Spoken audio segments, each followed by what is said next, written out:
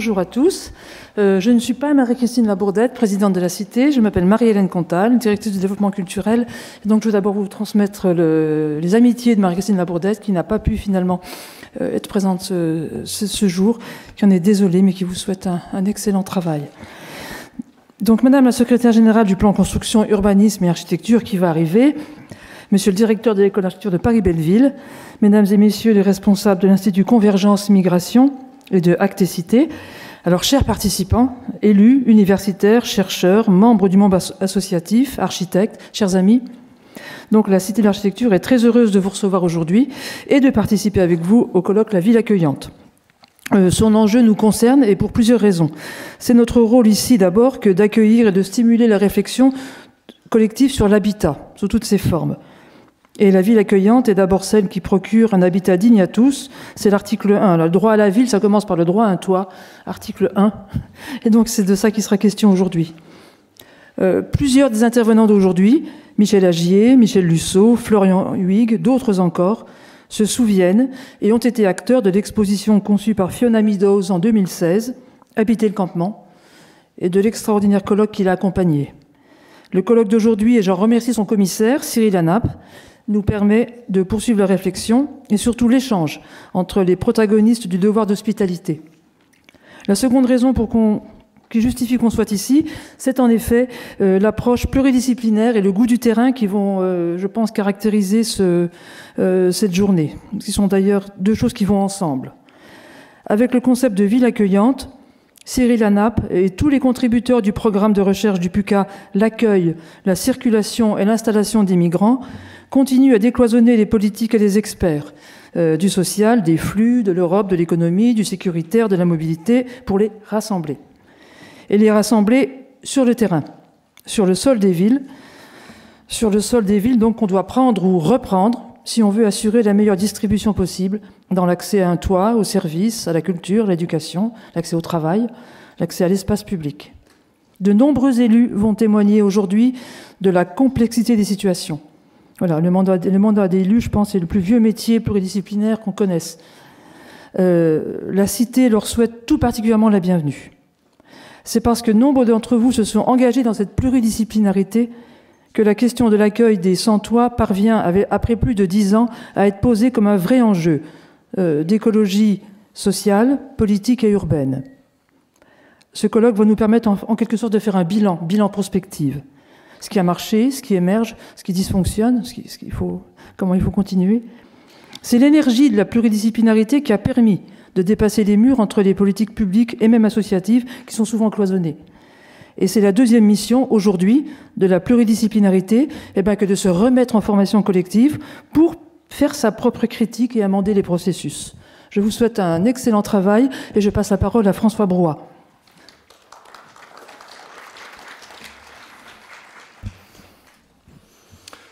Euh, merci Marie-Hélène, pardon. merci Marie-Hélène.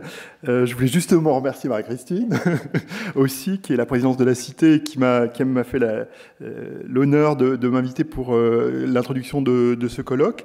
Je la remercie aussi d'accueillir cette, cette, journée d'études.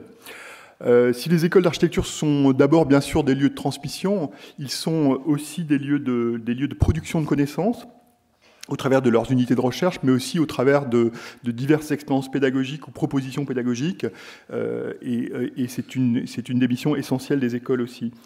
Euh, elles sont également des lieux ouverts à la réflexion et au débat, à l'architecture et à la ville. Et d'ailleurs, la loi récente Liberté de création, architecture et patrimoine de juillet 2016, qui définit pour la première fois dans la, dans la loi les missions des écoles d'architecture, leur confie explicitement euh, la tâche de diffusion de la culture architecturale et, un rôle de, de médiation. C'est pour ça que je suis très heureux d'être ici dans cet établissement public national dédié à la connaissance et à la diffusion de l'architecture. Je me félicite de cette, de cette collaboration, somme toute naturelle, entre, entre une école d'architecture et la cité de l'architecture. Le terme de la ville accueillante a été repris euh, par un travail euh, associant euh, le PUCA, la ville de Grande-Sainte, l'association Acte Cité et l'école d'architecture de Paris-Belleville. Euh, travail qui a donné lieu à la publication d'un ouvrage sous l'autorité de, Cyril Anap, qui est euh, donc euh, commissaire de cette journée et maître de conférence à l'école d'architecture de, Paris-Belleville. Notre école est engagée sur ces thématiques depuis des années. des enseignants de projet, mais aussi des enseignants en sciences sociales et notamment en sociologie, travaillent sur ces sujets. Depuis 2011, euh, un studio de master d'enseignement du projet architectural et urbain se consacre à l'architecture de la résilience. C'est ce beau titre que, Cyril Anap a choisi pour animer ce studio. Et, Cyril développe également euh, cette problématique au sein d'une formation post-master, un diplôme de spécialisation et d'approfondissement en architecture, un DSA, qui s'appelle euh, Architecture des risques majeurs et qui s'intéresse au-delà des questions posées à l'architecture par les risques naturels, ceux nés de l'activité de l'homme à l'habitat d'urgence, aux questions de l'accueil des réfugiés et des migrants. La question de l'accueil, elle est vieille comme la ville elle-même, mais elle se pose aujourd'hui sans doute avec une acuité particulière dans le contexte de la mondialisation, d'une inégalité persistante entre les nations et sous la pression de la, de crise climatique. Elle interroge évidemment les acteurs de l'urbain et en premier lieu les architectes. Je n'oublie pas non plus qu'il y a à peu près 50 ans a été publié Le droit à la ville d'Henri de, Lefebvre, qui proclamait euh, l'accès à la ville comme un, comme un, droit démocratique essentiel et la ville comme un bien commun et une production de ses, de habitants. Donc vous allez consacrer la, journée à ces, à ces, questions majeures pour notre avenir commun. Nous suivrons avec la plus grande attention vos travaux je vous remercie.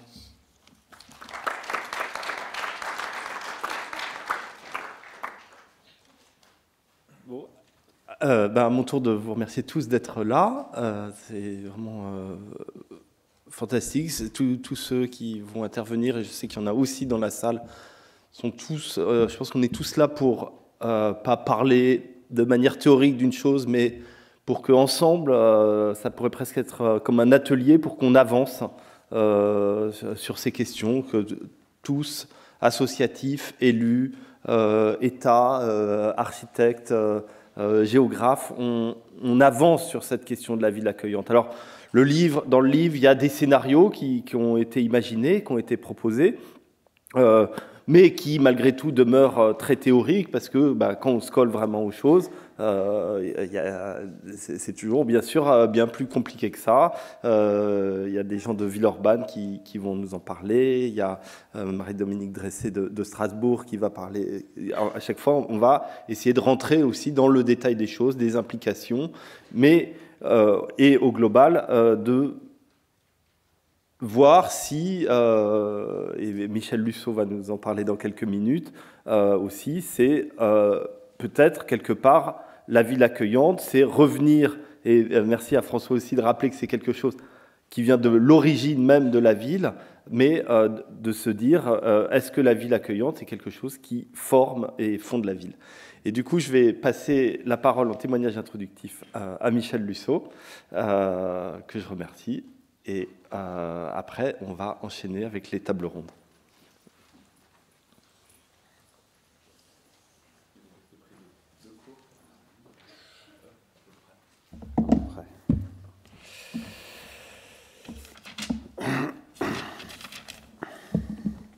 Bonjour à toutes et bonjour à tous. Merci de cette invitation. Je, vais malheureusement être assez théorique, Cyril, euh, comme à mon accoutumé. Euh, mais néanmoins j'essaierai de, respecter la consigne, euh, c'est-à-dire de donner quelques éléments de, réflexion pour, pour la journée d'aujourd'hui à partir du, travail que j'ai consigné dans, dans, le livre dont tu viens de parler et dont je conseille la lecture à tous ceux qui ne l'auraient pas encore euh, lu.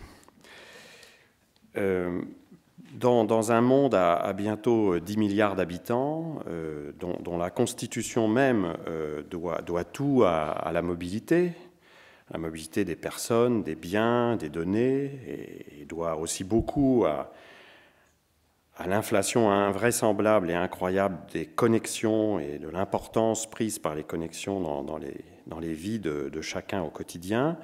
On peut donc faire l'hypothèse que la question de l'accueil, euh, qu'on accepte ou pas d'ailleurs le mot accueil, puisque certains préfèrent hospitalité, enfin peu importe, la question de, l'accueil euh, n'est plus, n'est pas une question marginale, mais une question absolument centrale. Et c'est une question qui doit nous, mener à, réfléchir non pas au, règlement de, l'extraordinaire, de l'incident, de, la crise, du dérèglement momentané, c'est la manière dont la plupart des pouvoirs publics en Europe aujourd'hui, et en particulièrement en France, traitent par exemple la crise migratoire hein, sous, le mode de l'extraordinaire, quelque chose qu'il faut purger hein, immédiatement, qu'il faut traiter comme un trouble, un symptôme euh, d'une maladie brutale, mais qui ne renvoie à rien d'autre que euh, le fait qu'il s'agit d'une pathologie, donc ne remet pas en question le corps sain hein, de l'organisation territoriale. Donc euh, cette manière de traiter l'accueil sous, les auspices de l'extraordinaire me paraît profondément fausse, parce que dans le monde qui est le nôtre, euh, la, question de l'accueil, de ce que le philosophe Thierry Paco appelle l'accueillance, hein, en revenant à l'étymologie même du, mot, cette question, en, vérité, nous renvoie à l'ordinaire, au quotidien, ou peut-être, si l'on préfère se méfier un peu de, cette question de l'ordinaire, ça, nous renvoie à ce que les historiens de la microstoria, en particulier Carlo Ginzburg, même si ce n'est pas lui l'inventeur du, concept, mais Eduardo Grendi, euh, appelait l'exceptionnel normal. Euh, par exceptionnel normal, ils entendaient des, actes qui, évidemment, pouvaient apparaître comme euh, exceptionnels dans leur intensité ou dans leur euh, survenue, mais qui, en réalité, n'étaient exceptionnels que parce qu'ils entretenaient au normal, au fonctionnement normal et ordinaire des sociétés, un rapport de tension, de, création d'énergie, qui était le sujet même de la micro-histoire. Et si on prend la question de l'accueil, par exemple, des réfugiés, comme euh, quelque chose qui procède de cet exceptionnel normal, tout devient assez clair. Il ne s'agit pas tellement de, de, réfléchir à l'urgence, de réfléchir à ce qu'il faudrait faire dans une situation euh, pathologique, mais bien plutôt de considérer en quoi cela révèle ce qu'il en est de notre condition euh, urbaine, territoriale, humaine, de notre habitation, de notre cohabitation du monde contemporain.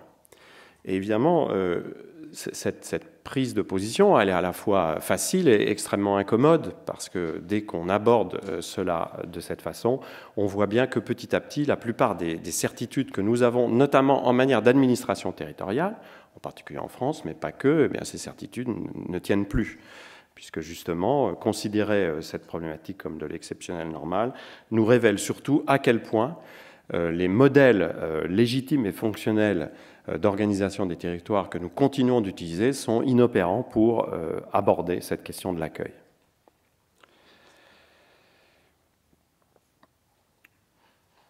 Cette, euh, position de principe, qui, nous renvoie encore une fois à cette affirmation que je trouve toujours intéressante de Carlo Ginzburg, hein, l'exceptionnel peut nous permettre de mieux révéler la normalité. Cette affirmation de principe permet pour un géographe, en tout cas un certain type de géographe de poser quelques, quelques questions et, de, et, de, proposer quelques hypothèses de travail qui permettront peut-être de euh, cadrer la journée et de réfléchir à ce que devrait être la conception d'un espace urbain accueillant pour tous les humains. Je vais mettre de côté euh, la question de l'accueil des non-humains, c'est déjà assez compliqué comme ça, mais qui est une vraie question, hein, cela étant, euh, qui est aussi d'ailleurs liée à la question de l'accueil des humains, soit dit en passant. Cette, euh, question, nous pouvons l'aborder à partir peut-être d'abord de, la mise en exergue, c'est ce que je tente dans le texte, de, quelques problèmes que l'urbain contemporain a, à, affronter. Tout d'abord, accueillir sans, sans condition, sans condition de distinction entre ceux qui sont accueillis, déjà. Hein, c'est-à-dire que ce soit euh, des passagers, ce que j'appelle des passagers, c'est-à-dire des gens qui sont deux passages,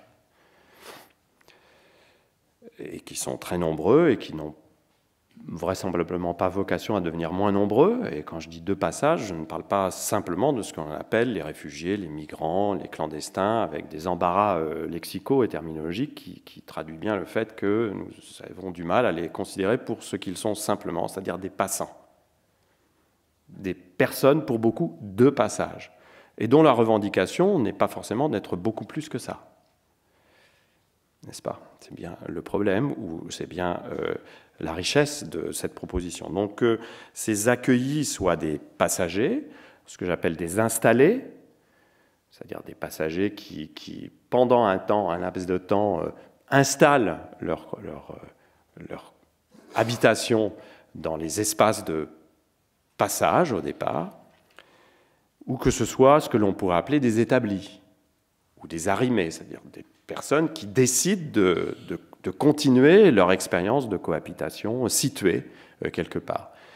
Finalement, la question de l'accueil, ce n'est pas simplement une question qu'on doit adresser aux passagers, hein, mais aussi aux installés et aux établis. C'est pour ça que la question de l'accueil, c'est une question qui vaut pour tout le monde, quelles que soient leurs conditions et leur statut. Cette question nous renvoie à deux ou trois problèmes élémentaires. D'abord, nos espaces urbains sont de moins en moins ouverts, traversables et perméables. Ils sont de plus en plus, comme dirait euh, Deleuze-Guattari, striés, rainurés, compartimentés, coupés, hachés, euh, multilimités. Il n'y a jamais eu autant d'injonctions à la limite, à la coupure, il n'y a jamais eu autant de seuils, de sas, de portes, de frontières internes à passer plus ou moins facilement, tout le temps, partout, de la résidence à l'emploi, de l'emploi au loisir, du, loisir à la, fonction, euh, de, l'espace mobilitaire à l'espace euh, euh, public. Nous sommes devant des espaces urbains qui sont de plus en plus marqué par l'intraversabilité. Et le problème pour moi est peut-être moins le problème de la délimitation que la difficulté de traverser. Hein. C'est-à-dire, je, pense qu'il y a véritablement quelque chose à réfléchir autour de la traversabilité. C'est une vraie question que nous avait euh, lancée un, grand architecte urbaniste maintenant disparu. Il a dû en parler même ici, euh, Bernardo Secchi, hein, quand il parlait euh, de la città diffusa, de la ville poreuse, de la ville traversante, c'est-à-dire qu'est-ce que c'est en fait qu'un espace urbain qui peut être traversé facilement par tout le monde? Dont le coût de traversée ne soit pas si élevé finalement que euh, très souvent on en vient à renoncer à cette traversabilité ou alors on est totalement contrôlé dans cette traversée, on est assigné, on est arrêté. Cette évolution vers l'intraversabilité, elle n'est pas à proprement parler française. Loin de là, c'est quelque chose qui peut être considéré comme une sorte de tendance mondiale. Certains, comme Stephen Graham d'ailleurs, le lient au deuxième point que je voulais évoquer, c'est-à-dire le fait que cette intraversabilité est de plus en plus connectée à l'obsession sécuritaire. Dans son livre City Under Siege, hein, la cité en état de siège, euh, ce géographe, spécialiste de mobility studies, montre à quel point, depuis une vingtaine d'années, une grosse génération, peut-être un peu plus, euh, les technologies de contrôle de l'espace urbain sont devenues de plus en plus des technologies de contrôle militaire, et que ces technologies de contrôle, elles ont pour but à la fois évidemment de repérer les individus, mais surtout de gérer les traversées et de contrôler les traversées. Ce qui se passe en Chine en ce moment est assez intéressant de ce point de vue-là. Hein. C'est vraiment toujours les épreuves de traverse qui deviennent les épreuves les plus contrôlées. D'ailleurs, la plupart des grands euh, réseaux euh, de communication, la plupart des grands opérateurs de network sont des personnes qui collectent des données euh, considérables sur toutes les opérations de traversée. Donc ce couplage de, la, sécurisation de plus en plus forte et de l'intraversabilité qui recueille aujourd'hui apparemment l'assentiment, euh, euh, dit-on, des citoyens, c'est-à-dire à chaque fois qu'un responsable politique vient vous parler des, mesures de sécurisation de l'espace urbain, il, vous dit c'est quelque chose que me demandent mes administrés, mais qui recueille aussi l'adhésion d'un grand nombre d'opérateurs économiques parce que ça, crée de, l'activité, ce, couplage de l'intraversabilité, de l'imperméabilité et de l'obsession sécuritaire est un couplage, à mon avis, euh, mortifère et qui ne peut pas mener à la réflexion sur l'accueillance et l'hospitalité. C'est impossible, c'est inconciliable.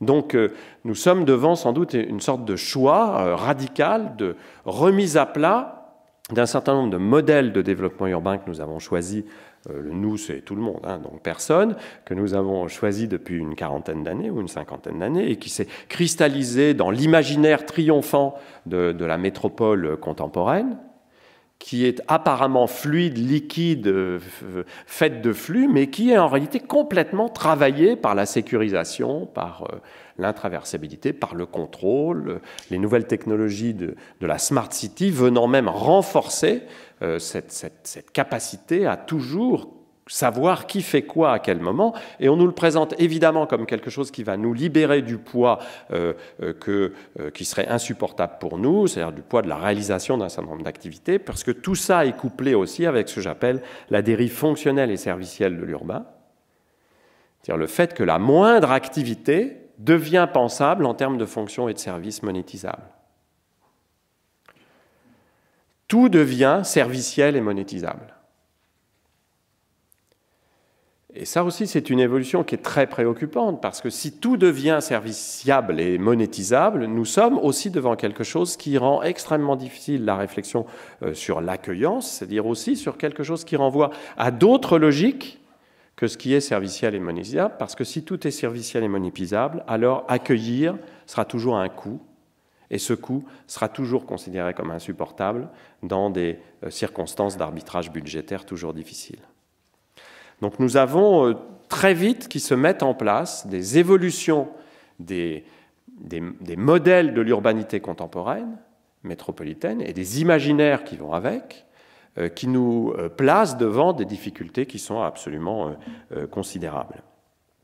Nous vivons une époque très étrange de, ce point de vue-là, où nous voyons se, juxtaposer des, apologies métropolitaine contemporaine, souvent fondée sur le mouvement, encore que même le mouvement des marchandises aujourd'hui commence d'être suspect. On voit bien ce qui se passe en ce moment même aux États-Unis c'est quand même très intéressant ce qui se passe autour de la volonté de Trump de rétablir des barrières douanières. Hein. C'est-à-dire, même le mouvement des marchandises commence aujourd'hui à tel point que les organisations internationales qui ont fondé en raison cette, cette nécessité du mouvement le plus libéral possible commencent à s'inquiéter euh, beaucoup. Donc même le mouvement des marchandises commence à, poser problème, mais nous avons quand même encore une fin de phase d'une métropolisation qui se présente comme une métropolisation euh, où euh, ça doit bouger, ça doit circuler de toutes parts. Et puis, en tension avec ça, le développement de ce que j'appelle une immunité de protection, hein, c'est-à-dire un imaginaire territorial, immunitaire, de plus en plus immunitaire, c'est-à-dire de plus en plus fondé sur l'idée qu'il faut protéger son intégrité, sa limite, et traiter comme un intrus tout ce qui vient de l'extérieur et qui est susceptible de faire monter euh, la fièvre. Hein, cette dérive immunitaire euh, de l'imaginaire territorial contemporain, ne me dites pas qu'elle n'est pas active en ce moment en Europe. Autrement, je ne comprendrais pas bon nombre des débats que nous avons dans le cadre des élections européennes, ou que nous n'avons pas d'ailleurs. Hein, cette dérive immunitaire est très forte. Je vous rappelle quand même qu'un philosophe qui est très contestable, mais dont il faut toujours prendre le travail au sérieux, qui s'appelle Peter Sloterdijk, qui avait dit que le rôle de la philosophie contemporaine, c'était de rendre, je le cite, le système immunitaire explicite. Pour lui, toute société se caractérise par un type d'immunité qu'elle définit, c'est-à-dire une manière de considérer sa relation avec son extériorité. Eh bien, nous sommes de nouveau dans une phase où les immunités territoriales sont de plus en plus importantes. Pas de ça chez moi.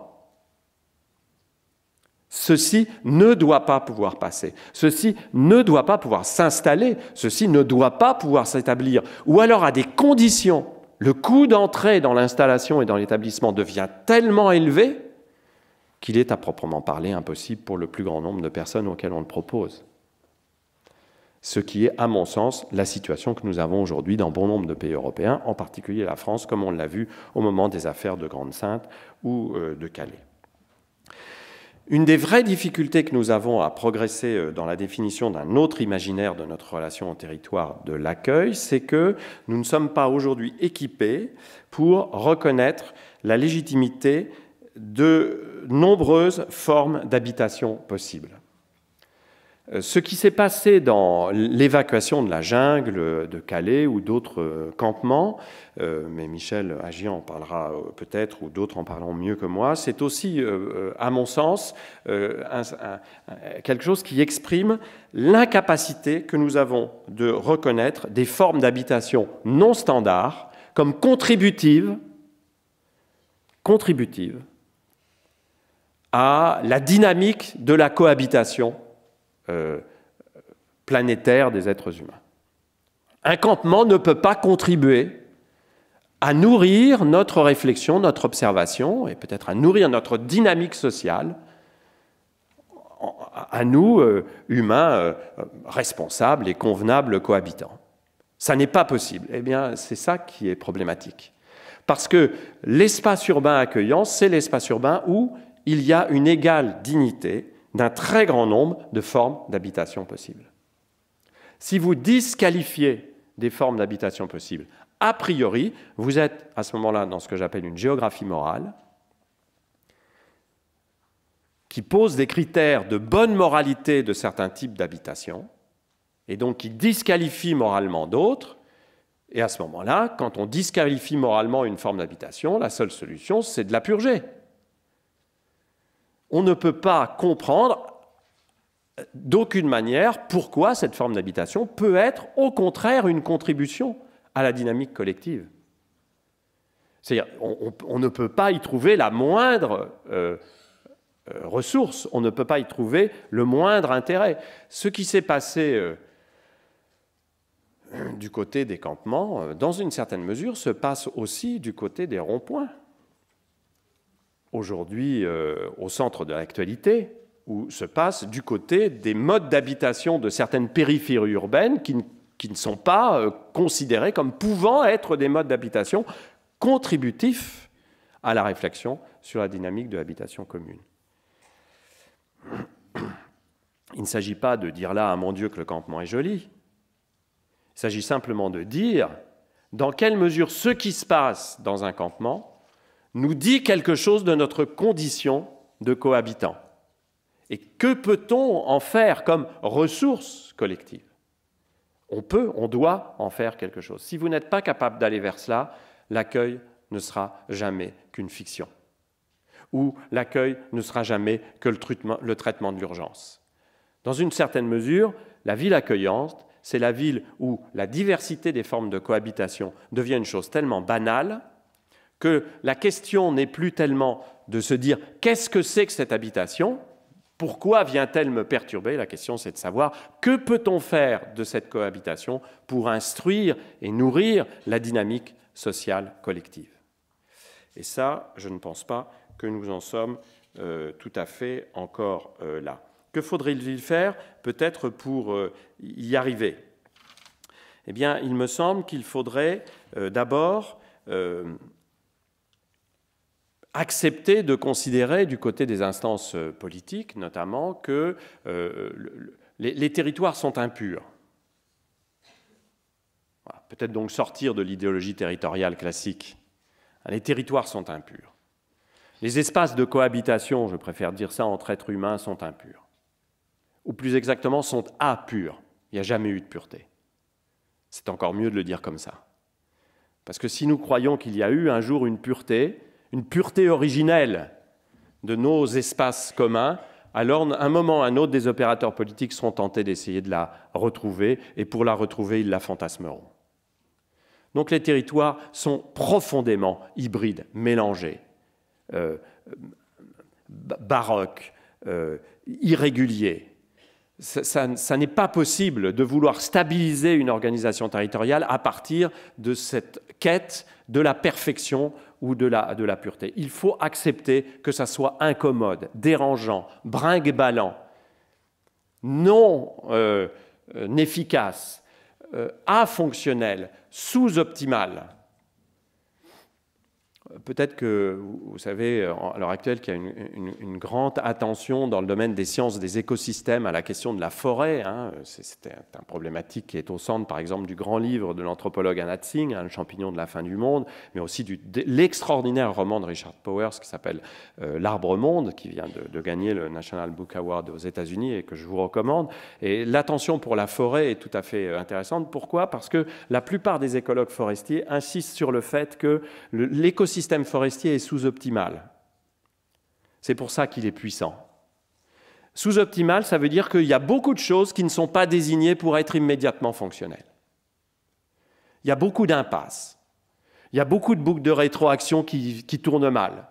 Il y a beaucoup de choses qui ne sont pas conçues pour être immédiatement efficaces. Et c'est ça qui crée la plasticité, l'adaptabilité, la possibilité d'être dans la soutenabilité, dans la continuité. C'est ça qui crée la résilience.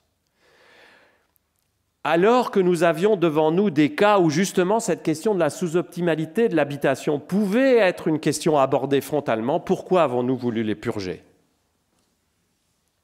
Parce que nous sommes incapables d'accepter cette impureté, cette hybridité, ce bricolage. Donc il faut que nous reconstituions des imaginaires de la cohabitation qui sont des imaginaires différents des imaginaires fonctionnels, impériaux, efficaces que nous avons eu l'habitude de développer. Deuxième chose, si nous voulons composer des mondes accueillants, je reprends là l'expression de Philippe Descola sur la composition des mondes, si nous voulons composer des mondes accueillants, alors il faudra bien euh, considérer que euh, cette composition n'est pas pour autant un processus naturel. C'est-à-dire qu'il va falloir s'équiper pour cette composition. Il va falloir apprendre, il va falloir s'auto-apprendre, il va falloir que nous soyons capables, et c'est la raison pour laquelle j'étais très content de m'investir dans ce projet de recherche, il va falloir que nous soyons capables nous-mêmes aussi en tant qu'universitaires de savoir ce que nous pouvons dire, qu'est-ce que nous pouvons faire, pas simplement pour donner des leçons, mais aussi pour être dans des processus d'apprentissage et de co-apprentissage.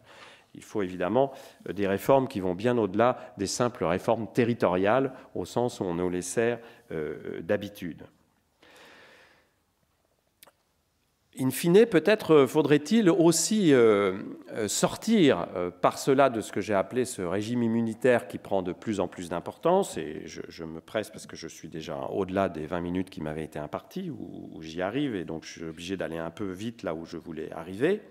Euh, c'est que je, crois que, dans une certaine mesure et paradoxalement, aborder la problématique de la ville accueillante de la manière dont je vous propose, c'est renoncer à faire une partition ferme et stricte entre intérieur et extérieur.